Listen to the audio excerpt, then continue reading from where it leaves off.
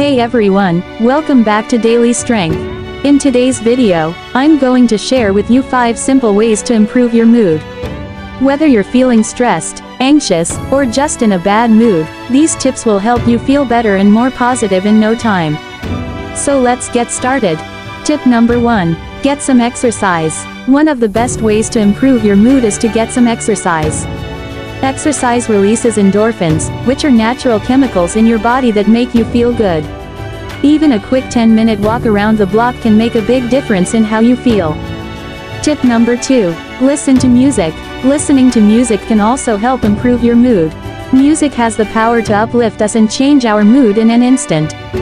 So, create a playlist of your favorite songs and listen to it whenever you need a quick mood boost.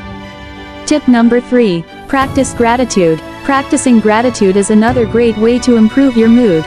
Take a few minutes each day to think about what you're grateful for. This can be anything from the sunshine outside to your favorite food. Focusing on the positive can help shift your mood from negative to positive. Tip number 4. Connect with friends and family. Connecting with friends and family can also help improve your mood.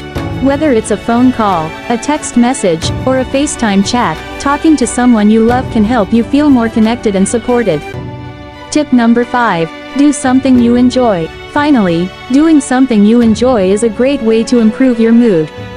This can be anything from reading a book to painting to cooking. Taking time to do something you love can help you relax and feel happier. So there you have it, 5 simple ways to improve your mood. Remember, it's okay to not feel okay sometimes, but these tips can help you feel better when you're feeling down. Thanks for watching, and I'll see you in the next video.